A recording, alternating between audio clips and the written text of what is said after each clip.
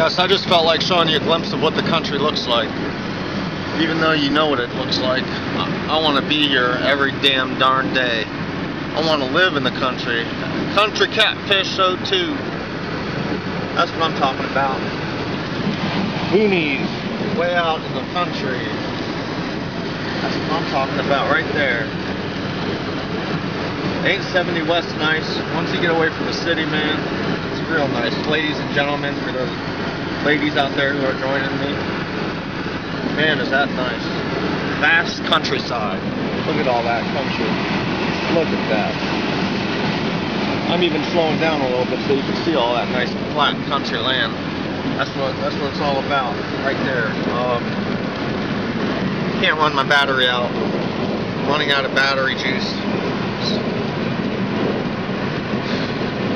Approaching 27 miles pretty soon here, about 27 miles, um, give or take.